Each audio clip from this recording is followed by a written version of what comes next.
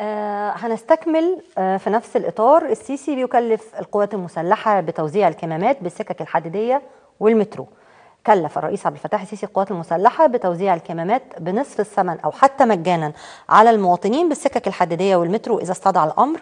وخلونا نشوف برضو جزء آخر من كلمة السيد الرئيس في هذا الموضوع. وده الكلام هنا يبقى أنا بتكلم على الوقت اللي مفيش فيه حظر اللي إحنا بنسمح بيه بالحركة لأن إحنا مش عايزين ناخد إجراء أكثر حده عليكم. مش عايزين نعمل نضيق توقيتات الحركة عشان كمان حياتنا ما تتوقفش.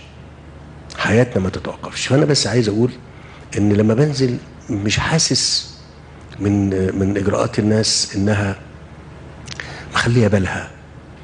بشوف ميكروباص والناس قاعدة فيه ومحدش حاطط آه، الكمامات. طب ده مهم طبعا. يا ترى المواقف بيتم فيها تطهير ولا لأ؟ ده مهم طبعا. وسائل النقل كلها أنا اطمنت على السكة الحديد وعلى المترو.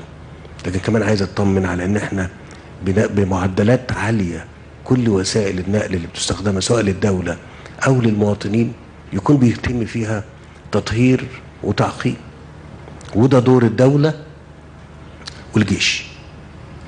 وده دور الدولة والجيش عبء كبير لكن إحنا إذا كنا عايزين ما نوقفش حال مصر لازم هنبذل هذا الجهد.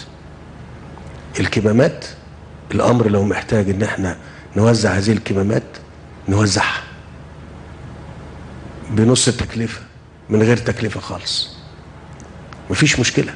إنما يبقى إحنا إحنا حرصنا وإحنا في أول ظهور لينا معاكم بشكل جماعي كده إن إحنا يبقى كلنا آه، حاطين الكمامة عشان ندي يعني ندي ال- ال- الرسالة إن إحنا محتاجين نخلي بالنا.